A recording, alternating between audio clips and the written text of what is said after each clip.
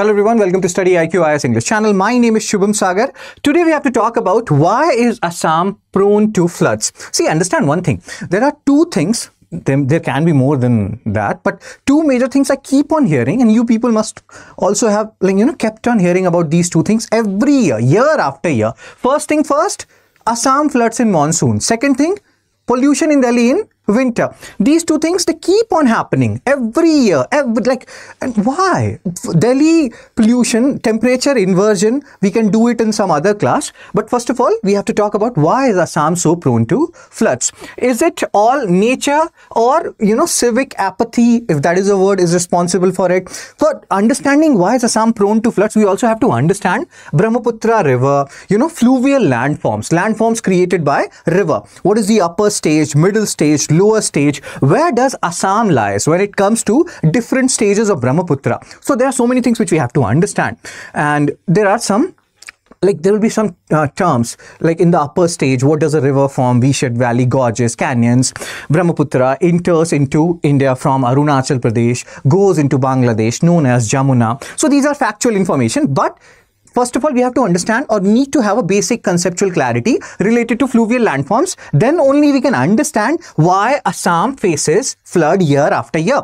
And then at the end, we'll solve six MCQs so that we can remember whatever we have read. First of all, let's have some discussion related to what is happening in our dear Assam. I stayed in Guwahati, Bhangagarh was a region. So I have seen this. Guwahati is relatively less impacted by Assam floods, but yes, this time even Guwahati is impacted. So June, certain day of June, we'll talk about which newspaper is talking about it. Almost every newspaper is talking about it and they should. So eight individuals have lost their life, around 78,000 you know, have been affected. These are official figures. Non-official figures can be more. Flood situation, 10 major rivers, including, again, you can have a look at all the factual information. First of all, we have to understand Assam is facing a lot. Every year, Assam faces a lot because of these floods. And they keep on rebuilding and then again, the same stuff happen the next year. So this is actually a scenario which has to be taken care of some way or the other. But why this happens with Assam. Why is Assam, you know, like witnessing so many floods year after year? Let's try to understand it via fluvial landform. First of all, what are fluvial landforms? Landforms created by rivers. Okay, so when a, a river is getting, you know, a river or different landforms are getting created by river let's try to understand how a river flows so when a river flows pardon me for my you know uh, diagram here so it comes from, see, understand one thing. For river to flow, there has to be something which is known as slope. So this is the, and let's say this is the origin point of the river. So this is the origin point. This particular stage is the upper stage of the river we have to understand when it comes to Brahmaputra, where does Assam lie in the different stages of a river, different stage of Brahmaputra. So this is the upper stage origin point. Here, the slope is very steep. River is coming at a very fast pace. It is eroding everything which is coming on its way, forming features like V-shaped valley, gorges, canyon. So here in the upper stage, the major work done by river is erosion. Then comes the middle stage. Assam lies in the middle stage, mainly middle stage and little bit of upper stage of Brahmaputra. And since the speed of Brahmaputra is very high here in this, these particular phases, that's why you are witnessing flood. Plus, so many earthquake happens and this is an earthquake prone region because of different earthquake which has happened in Assam. Brahmaputra has changed its course. So it's like idhar chala mein udhar chala. Sometimes I'm going here, sometimes I'm going there. It has become very unpredictable. That's why people are not that prepared for, uh, you know, Brahmaputra's floods. Also, then there are something called as haphazard urbanization. We'll talk about it. Multiple factors are playing a role. But first, first of all, let's focus on fluvial landforms. So upper stage, speed of river is very high. Erosion is the main work done by it. Middle stage here, transportation. What does that means? See, understand one thing. When in the upper stage, the speed, the slope is very steep. River is, you know, coming at a very fast pace. They are eroding stuff. They are carrying a lot of sediments with it. And this sediments will be transported in the middle stage. Then comes the lower stage. And by this time, what has happened? Whatever sediments river has brought, they are getting accumulated here. And that thing will stop the flow of river. So the speed of river has reduced considerably. And here, what will happen? They will reach the sea and they will form something known as delta, flood plains, etc. Flood plains also gets formed in some phases of middle stage. Delta is a feature formed in the lower stage. So please understand the most important prerequisite for river formation is the slope. If the slope is there, river will flow. And since Assam majorly lies in the middle and some portion of upper stage of Brahmaputra. So the speed of Brahmaputra is very high here. Majorly erosion, transportation and in the lower stage deposition happens. I'm not saying that erosion, transportation and deposition, like in first stage only erosion will happen. In second stage only transportation, in third stage only deposition. No. What we are saying is the major work of river is erosion in the upper stage, transportation in the middle stage and deposition in the lower stage. Assam lies here, middle and some portion of upper stage of Brahmaputra and that's why it faces the wrath of Brahmaputra so much, especially in the middle stage. And do remember the different features, different you know landforms created by a river. Upper stage v-shaped valley gorges canyons. Middle stage eh, you can say oxbow lake and others. Meandering happens here and meandering happens even in the lower stage. But the major things which we have to remember upper stage v-shaped valley gorges canyons. And then in the lower stage delta. Remember it? It's important. And these features are actually important. Okay let's move on. Geographical location. Now we are trying to understand why we know the major reason. Assam is lying in the middle stage of Brahmaputra primarily. But what else apart from that? They are talking about all these things. There are so many rivers and they, again, when you read about Himalayan rivers, you read about peninsular rivers, you talk about certain stuff that Himalayan rivers, they are perennial rivers and uh, uh, peninsular rivers ma mainly seasonal rivers. Why? Because peninsular rivers, they get their uh, water from rainfall. Himalayan rivers, there are two sources. One is snow and the second is or the glaciers and the second is rainfall. So Brahmaputra, they this particular region also encounters or even now like the monsoon is going on they have got a lot of, lot of rainfall rather plus the glacier factor so there the amount of water they are carrying is extreme plus they change their course so much because of different earthquake which has happened in Assam earlier. Low lying terrain, as we have discussed, now you know the basic feature of river formation. Uh, it needs slope. If river has to flow, it needs slope. And since Assam lies in this particular area, which is low lying area, obviously, it has to be low lying, then only river will flow. So it is facing the Vrat. The speed of Brahmaputra is very high.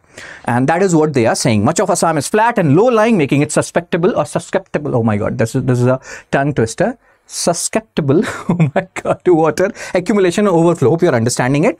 Words tongue twisters that's fine, but we have to understand the basic gist here. Assam receives intense rainfall, we have talked about it.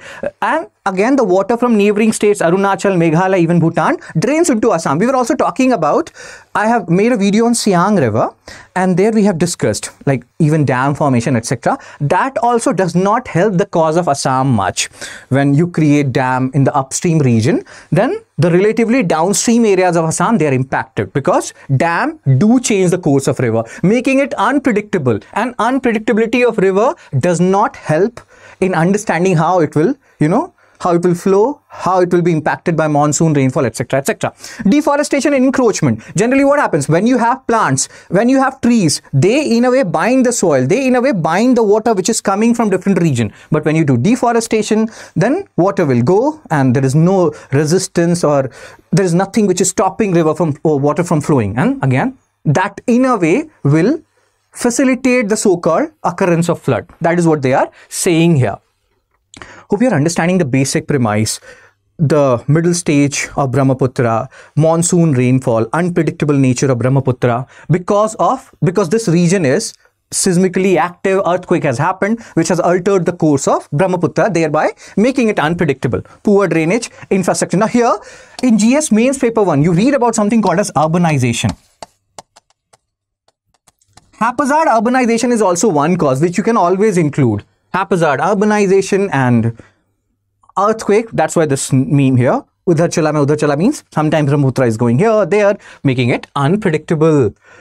And then the climate change, erratic rainfall patterns, inadequate flood management. This is also one aspect of not exactly, but yeah, you can say that this whole thing, inadequate flood management, ha- haphazard urbanization, these factors are also contributing to Assam witnessing so many floods. So there are multiple factors. Some of them are natural factors. Some of them are man-made factors. So the question is, who is responsible? Weather is responsible. Nature is responsible. Government is responsible. Both are responsible. Neither of them are responsible. You know, you read about uh, options in UPSC one only, only one, only two, both, neither. So what is your opinion? Whether government, nature, government, both or neither. Whatever you feel, you can post it in the comment section, especially people from Assam. Pollution in Delhi, we have talked about it. Two things are common every year. Such a sad reality it is. Pollution in Delhi in winter and Assam floods in monsoon. And that's why Ajay Devgan sir is saying here that some things never change. They keep on happening year after year and maybe we people have to put a little bit more pressure on our governments when it comes to these two matters, Delhi pollution and Assam floods. Maybe then things will change. Again, what is your view on that? If I have repeated certain stuff multiple number of times, that means those particular stuffs are important for you. There will be six MCQs which will be coming in front of you and you have to solve them. So June 1, 2025, Deccan Herald, this was the news. 8 killed, 78,000. This is not 10, 100, 200, 300. 78,000 affected and you can see how much Assam is you know, suffering right now. And we people are with Assam and we want, you know, we want to do something for Assam. And that's why we are having this discussion so that government can realize that this is a grave issue. This cannot go year after year. Howsoever they can do, they should do and to stop it from, you know, to stop this recurring harrowing experience which is not helping the people of Assam. So six MCQs, which of the following is a major depositional fluvial landform? I have told you erosion, transportation, deposition. In which stage of rivers, what happens? If you can solve it and if you know the answer, post it in the comment section. MCQ2, the landform created by river erosion in the upper courses, delta, floodplain, floodplain, V-shaped valley, levee. If you know the meaning of levee, you can post it. But I have again told you, if you go back and rewind the lecture, I have told you the answer of this. What is the name of Brahmaputra river in Tibet? I have made a video on why Siang river in news. There also we have talked about Brahmaputra river, Siang river. You can you know, watch that video as well. MCQ4 in which Indian state does the Brahmaputra enter India? Sikkim, Arunachal, Assam, Meghalaya. See, many people, they have this misconception when we come, when we talk about northeastern state, that Assam is the largest northeastern state. The answer is Arunachal Pradesh is the largest northeastern state. Do keep that in mind. Which of the following river is not a tributary of Brahmaputra? Subansiri, Manas, Teesta, Chambal. You may feel like, sir, you have not talked about tributaries, distributaries, just have a look at it. You can eliminate option. Just try to think where these rivers are. MCQ 6. What is the name of the river formed when Brahmaputra enters Bangladesh? Meghna, Jamuna, Ganga or Padma? So what do you think is the answer? If you know the answer of all these six MCQs, you can post it in the comment section. I will share this PDF along with the answer of these six MCQs in my Telegram channel oh my god i'm stammering today in my telegram channel fun study with you because study should be fun so yes sir if you are a serious UPSC 2026 aspirant, you can join our morning batch. Admissions are closing on 3rd June 2025. You can use my code SHS to get maximum discount. This is P2I Prelims 2 mains and prelims to interview program. And there will be a monthly quiz. If you top that quiz you will get 11000 reward. If you crack upsc pre 2026 you will get full refund because you will be making us as well as yourself proud. Prelims and mains residential program are also included here. So you can join it if you are a serious upsc 2026 aspirant. If you have any queries any doubts you can go to the pinned comment section. You can go to the description portion of this video. You will get you know you will get the number link everything. Cool so that's it from me, sir and ma'am. Whatever are your views on this particular topic, feel free to share it in the comment section. A very sensitive topic and something has to be done about this particular topic. Take care, be blessed. I will see you soon.